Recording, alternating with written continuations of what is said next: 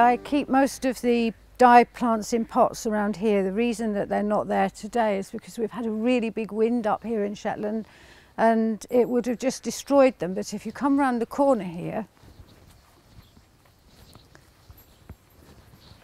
this is one of the dye plants that is grown from seed and it's indigo, um, which gives the most beautiful blue and permanent blue. It lasts and lasts and you can do tie dyeing and all sorts of things. With the wool, I dye wool blue with woad or indigo um, and then I over dye it so that I use marigold which gives a yellow because I love the greens that you can get with plants like marigold and indigo together. The indigo needs watering every day unless it's pouring with rain so I'll just give it a wee little bit. There we go. Maybe the marigold too in case it's feeling left out. One of the things that I learned really quickly is that protecting things from the wind was like massively important. So I dug this bed lower and lower to try and have it a bit wind protected because this faces west and a lot of the prevailing winds come from the west. So you've got this kind of bank. Um, and it wasn't then protected so well from the northwest, but it is now because of the bushes and the trees growing. So from here going down, um, I think this is probably mm, maybe 15 years old, this part of the dye garden, so it's slightly newer. Um, so this bed here, I dug deeper and deeper to try and protect the plants that are in that. And then as I dug that one, I was thinking this isn't going to work if the winds come from that way. So I've built these funny little stone wood um, earth walls because they help channel the wind and they help protect the plants. They are built out of the soil and rocks that came out of the ground when I dug these beds. Um, some of the rocks, like these ones, were buried and they were very difficult to get out. It was quite funny. If you come around this way, I'll show you something about how the garden's fertilised. Uh, I don't like using anything chemical in the garden at all. So I've had to use things that I have myself in the garden. Now this is comfrey and comfrey leaves, particularly these big ones at the bottom that are going tatty, you pick them off and you can put them in water and leave them to soak for a couple of weeks or more. It gets very stinky and not a very nice smell, but it creates a liquid fertiliser. So you just add a little to your watering can and go around when you're watering things and it feeds them. So this bed over here, we've got lady's mantle. And again, lady's mantle is a plant that grows in Shetland. It's by the roadsides and just about everywhere. And I would guess it's always been here. And again, it's another plant that's really great for dyeing. You can use the leaves and the flowers, which gives um, like a mustard kind of yellow. But if you use just the flowers, you get a beautiful bright yellow, which is great if you're wanting to over dye with indigo or woad. Uh, generally speaking, you would read in most natural dye books that you need 100% the weight of the wool to flowers, but I don't personally work that way. I, I like to just harvest what I think the plant wants to give and then I dye bit by bit and so I'll get dark shades at the beginning when the vat's the strongest and it will slowly get paler and then I've got a whole range of shades of colour. I'm going to take some of these lower ones because they're, they're going to get eaten by the slugs anyway, I think. There we go. Put them in the basket, there. Right, so we've got the lady's mantle and the alder leaves here, which is really exciting. It's like the magic bit of natural dyeing, thinking about how these amazing flowers are going to turn into colour on wool. And I've got here this is the lady's mantle so we're going to get those colours and these greeny colours from these flowers. So we'll pop them in the pot like magic a bit of alchemy going on I'm not using the leaves because I'm hoping to get really nice yellows and then over dye them with a bit of indigo or woad. Get that lovely green shade that you can get when you mix yellow and blue together. there. Okay, and then we got alder leaves. And this is from my favourite tree in the garden. It produces these beautiful leaves. They can get really, really big towards middle of summer like now. Right, hopefully they're going to be full of pigment and we'll get some lovely shades from those. Okay, so we top the water up with this hot water. I'm just pouring it over the flowers. I always feel a bit sad now. I think those poor flowers suddenly getting hot water all over them. But then I can say thank you to them for producing all the colours and pigment that I know they're going to bring. There we go. So now I'm going to heat them. One on there and one on there. And we have to just leave them to simmer now for about 45 minutes. And after 45 minutes, then their colour will have gone into the water. So this is the little room that I spend a lot of time in and I do a lot of the natural dye work in, sorting the wool, winding it, skeining it, labelling it, posting it for customers. Um, but the most magical bit of all is when I have a chance like now to gather the colours together and actually look at the amazing palette of colours that nature can offer to us and all of these colours are from the dye garden. Um, so if we just have a quick look at this, this these two here are from dock leaves, which as most gardeners will know is usually disregarded and pulled up as a weed. Then some of these colours this side are from willow leaves. We've got madder root and these all these ones came from woad leaves which was last year's harvest because this year's hasn't um, got enough pigment just yet to have a deep blue. So these are now cooked flowers and you'll see how it's already changed into a beautiful colour.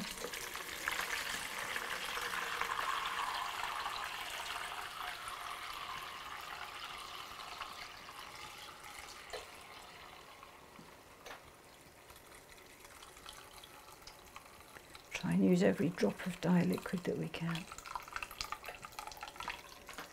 Right, there we go.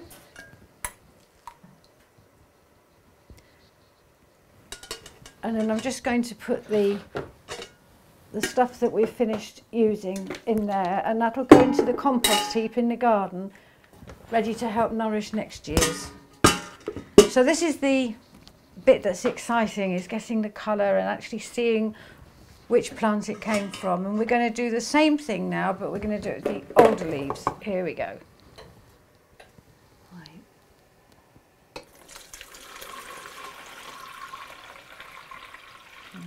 It looks a similar colour to the lady's mantle, just a bit paler, but actually it will give us a slightly different shade.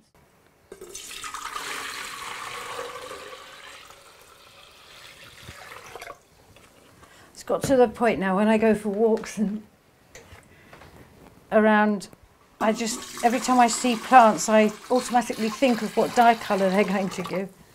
It really, wherever I am, I always see dye plants of some sort. Okay, so all of these trees down here are willow, and they're all different types of willow. They all came from, originally from Cope, and they were grown in Shetland, and they are all indigenous stock willows. So we've got leaves from each one will give a very slightly different shade of colour.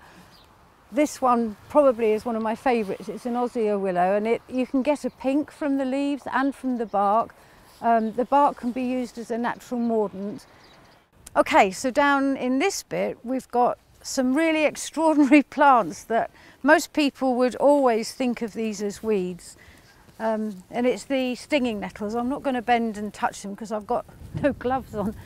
But these stinging nettles will give amazing shades of green um, or gr greeny grey and green when you dye with them.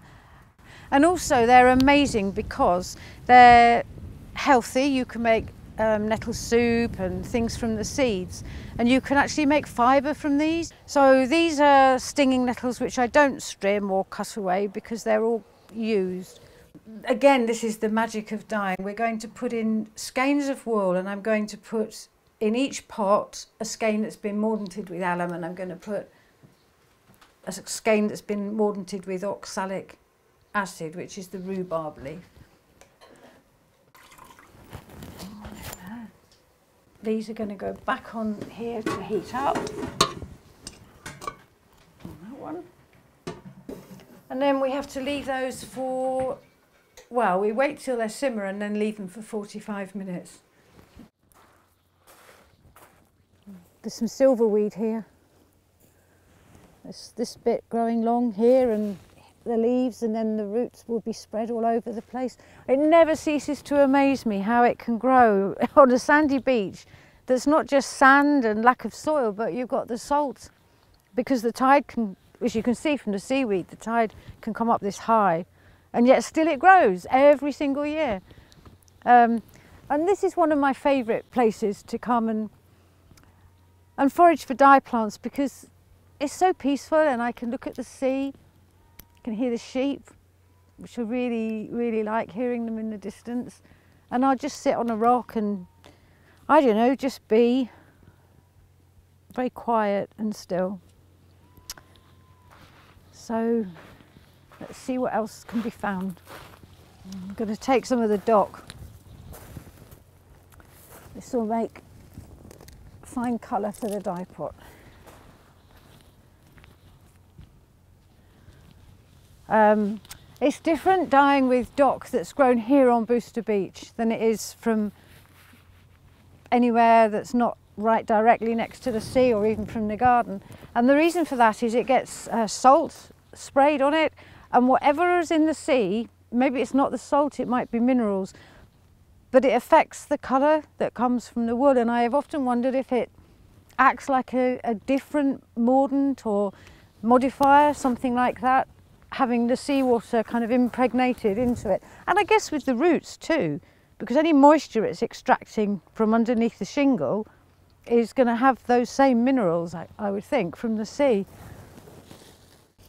It's going to be amazing when these seeds are ripe enough to harvest in September, October. You can just see them beginning to change colour just there and there and they'll, they'll go like a deep, deep red colour. In fact, and this always intrigues me, the colours that the dock leaf begins to go towards middle of summer are the same colours that you get from the seeds and the same colours you can get on the wool from the seeds. Definitely in Shetland because I've seen in the archives and as far as I know elsewhere across the globe people always used to use urine for a mordant. They didn't use other mordants very much. And um, the reason I'm telling you that here is because dogs will have peed around here and I think that urine as well adds to the um, colours that you can get from from this particular um, dock on this beach. Let's have a look. I can take loads of leaves from this one plant because as you can see it's been very prolific in foliage this year which is cool. Right, that'll do for a reasonable dye pot I think there. There we go. Um, and it's something I always do at the end of a of a gathering wherever I am, whether I'm by the water or I'm not by the water. I usually try and find a nice stone or a shell or something and I just throw it in the water to thank the environment for all that it gives. So I maybe like to just do that and see where we go. Let's have a look, see what I can find. I might stroll up this way to do that. Nice bit of white quartz there. Oh, and that one.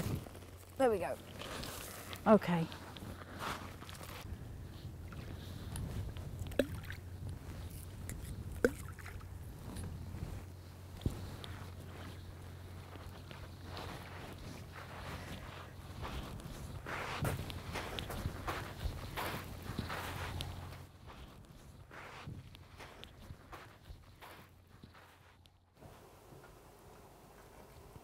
got two different colours because we've used two different mordants. I'm going to take the wool out. I already think this is magical because it's already started to show it can produce more than one colour. We've got the bright yellow and the kind of mustardy yellow. That one is the lady's mantle. And then this one, which is the alder leaves. Whoops, we've got three colours, but I can't get them all out at once, I don't think. There we go.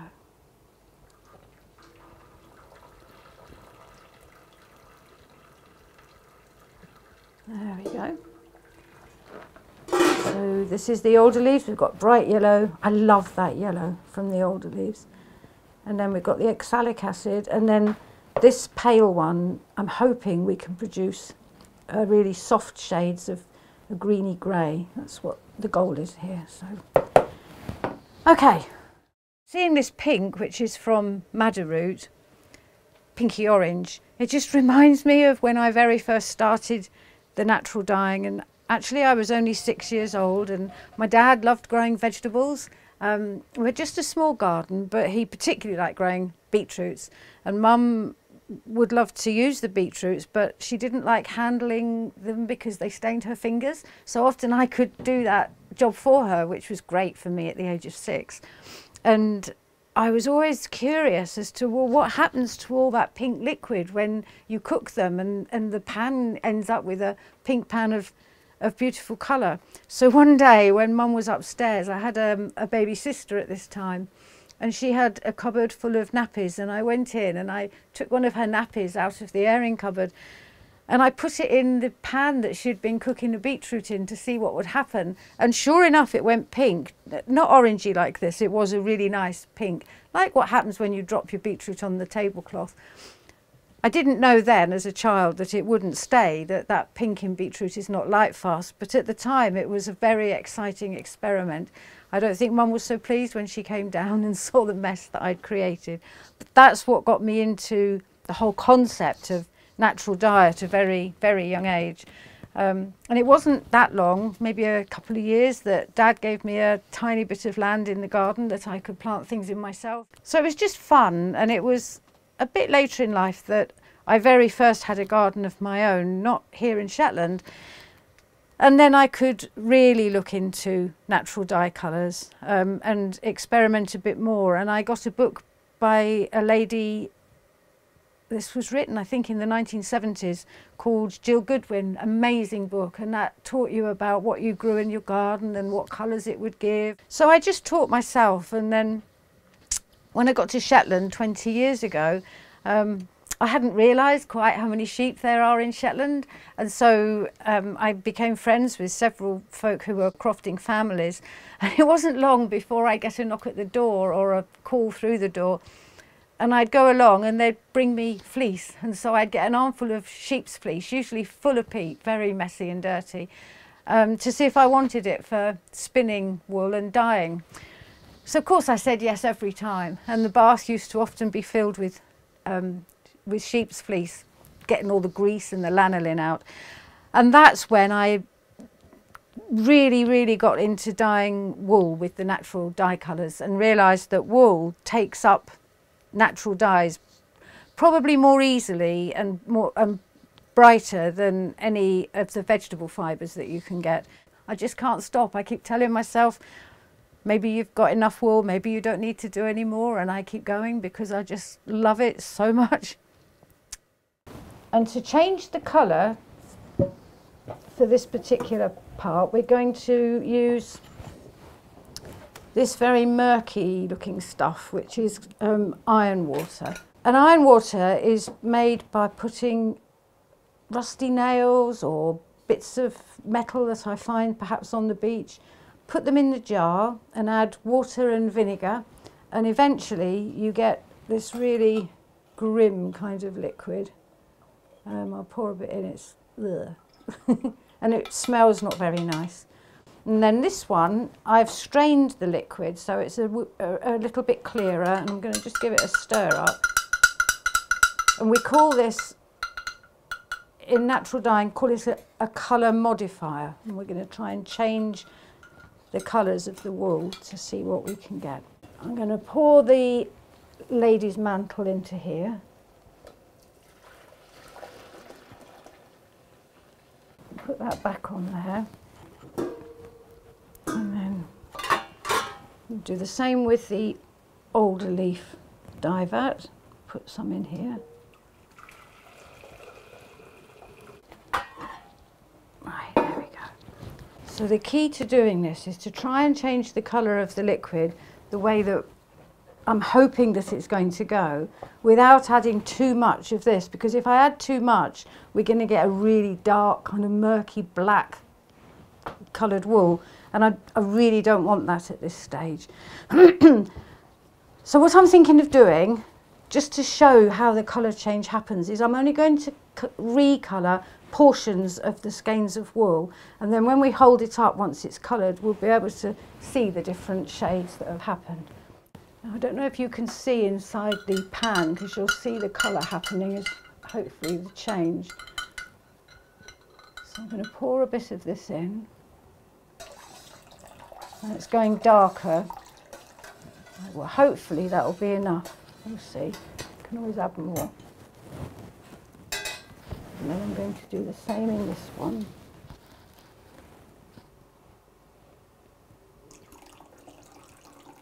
Okay. That's gone dark nice and quickly, which means it's probably going to make a good colour change and fairly fast. And with the alder leaf, we've got this pale one, which is the, the wool with no mordant at all just coloured with the leaf and some tannin. this is the alum and this is the oxalic acid. Okay. Okay. Right, fingers crossed, toes crossed, everything crossed for me. All right, here we go. We're going to put it in just for a little while to start with. So now it's time to look at how I can actually dry some of the dye materials so that in the long winter months in Shetland I've still got stuff to do and I can still make beautiful colours and remember the sunshine. And there's some examples here of dried dye material. This one is willow bark, stripped off willow twigs and then dried and then it, it'll last all winter and to use it I just soak it for a few days beforehand in water to rehydrate it. Um, this is it chopped up because you have to use it chopped up like that. These are dock seeds which fall all over the place but give you those pinky colours that are really lovely on wool, particularly in winter time. Um, and I've got plenty of those dried onion skins, um, they're something you can dye with all year round and onions grow really well in Shetland and you can get, well I've got up to 25 shades from onion skins so they're quite magical as well. Um, that's a bit of magic for a dark winter's day. Then we've got chamomile, dyer's chamomile, um, marigold flowers, heather, which is one of my favourites, but unfortunately there's not much of it out just now. But heather will give a lovely range of shades from golds, greens, greys, and if you're lucky, you can get an orange, but not every year. You can even dye the willow leaves. These are osier willows, and they, um, there we go, they can dye wool a pinky colour. Um, I think there's some of that pinky colour just up here. I don't know if you can see that in there, just in there. And, and what have we done here? These are alder cones which give a deep dark grey shade which is really handy if you're looking for tonal contrast in Fair Isle knitting. They're a good kind of backup for the winter. Um, and then this one, now this is really interesting and it obviously it grows but I couldn't show you that in the garden. This is rhubarb root and when you actually dig a rhubarb up, this is bright orange under the ground. It's like a treasure in a cave or something because it almost glows under the ground. And you chop it up and dry it, which is what I've done here. And then when you rehydrate it, you can dye wool pinks, oranges, and if you're lucky again and you use something called alkali extraction, you can sometimes get uh, like a burgundy red shade with rhubarb root. Um, but of course the thing is when you dig it up you have no more rhubarb plants so you really need to grow them in rotation to be able to do that. And these dye stuffs and plenty of other dye stuffs, I, I try and harvest plenty in the summer um, so that I've got a lot for the winter. And then they're all stored a bit higgledy-piggledy, but up here. So, like for instance, that box up there is full of dock seeds, and then that's willow bark. This is the osier willow twigs, willow twigs, heather, onion skins, and then this bit over here is alder cones. Um, and there's some other flowers and things in the midst of that. Like for instance, if you look at these ones, you'll see you'll see a bit more of the quantities I'm talking about. Um, so this is corn marigold. And the thing to remember is, particularly with something like corn marigold, is that when they're dried, they seem to dye so much stronger in terms of colour, partly because they're lighter weight. So if you weigh them, they're not going to you're going to get more flowers per gram than you would if they were fresh. But also something about the storage seems to, I don't know, it seems to enhance the the shade of colour. So it's good to dry things. It's a good practice to get into, particularly when you've got plants all over the place and you don't want to just waste everything and it, you know it can all produce colour. It's magic. It feels like magic. I think it, it probably touches the, the little girl in me. There's that something mysterious, magical, fantastical about a leaf or a, a seed or something making these beautiful colours. And actually that's something else that I didn't know until I came to Shetland and been here a little while is the magic of putting colours together and creating Fair Isle knitting. I, I didn't know anything about uh, colour work or, or knitting like that at all. I just knew about knitting in a straight colour. And I think that added to the magic and made me want to dye more and more colours so that people had more and more shades of wool that they could pick and choose from. So most of the excess iron has gone out of it now. It's been rinsed in water and then again it's been washed with um, like an eco-friendly washing up liquid which will be pH ne neutral because we don't want the acid or the alkaline to affect the colour of the wool. But what we need to do now is to use some vinegar. And we add the vinegar to the last rinse of water. And the reason for this is partly because it helps to remove any excess iron, but also because um, it softens the wool and we don't want it to get brittle and harsh from having been in the iron.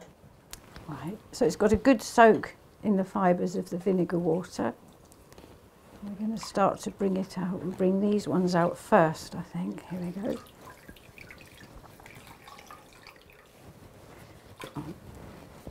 This one's the lady's mantle. You can see now all the shades that we've been able to find. This is the alum mordanted and this is the oxalic acid, which is the rhubarb leaves. And then the bottom is the using the iron water. And because we had those very bottom bits in longer, they're darker modified shades than higher up towards the middle. And it'll become more apparent once they're completely dry. So the next stage is going to be to hang them out to drip dry. This is the alder leaves, my favourite again. We go. And of course we've got three shades this time because we used three skeins so we've got the alum mordanted, which is the yellow, and it's a really nice green there. And once it's dry, that's going to be more apparent that that's green. And you can actually see the difference between the darker bottom and the lighter middle of the green. And this one is one of my favourite shades, which although it's grey and might seem a bit strange, to anyone who does any form of fair isle knitting or colour work, that's why it's such a great plant because you can sometimes get really deep greys, which you need for tonal change, and you can get really light colour and light greys. And that's the one with no mordant at all, so that's quite a quick one to do. And this is the one with the oxalic acid, which from here where I am, it's, it's got a nice, it's grey, but it's got a very slight browny hue to it. Don't know if you can see that, which would be, I think, quite lovely in some fair isle knitting.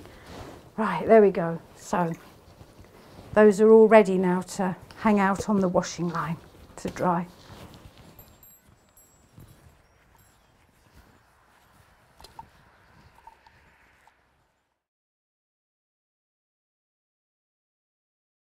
This is the little sample cushion that I made a few years ago, actually for a workshop I did at Wool Week.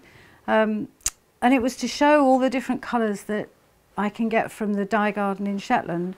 And it's worked so well ever since then because people want to ask what colour comes from which plant and most of these have got woad involved somewhere, the blues and the greens. Um, so that shows the colours that I love.